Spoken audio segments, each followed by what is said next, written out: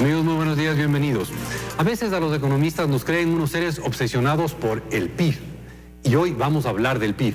Y no es por un tema de obsesión, sino que esta, a pesar de ciertas limitaciones, sigue siendo la mejor medida sobre el tamaño de una economía. Y es que la economía ecuatoriana ha crecido poco en los últimos años, algo que se ve claramente en este cuadro. Y acá es claro que en el 2014 todavía crecimos a una buena tasa de casi 4%, pero en el 2015 con la caída del precio del petróleo la economía casi no creció y en el 2016 hasta se contrajo.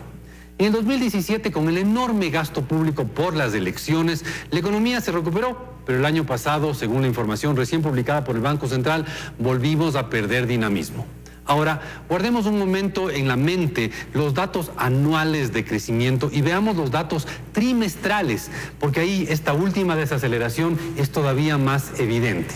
Porque aquí se ve claramente que el crecimiento fue a inicios del año 17 y que a fines del año 17 ya la economía estaba perdiendo dinamismo y que cada vez creció más lento durante el 18. Y si la tendencia sigue, el 2019 no va a ser un buen año. Pero bueno, eso es el costo de los desequilibrios creados en el pasado, tema que ya lo hemos topado varias veces en este programa. Muchas gracias. Economía para todos.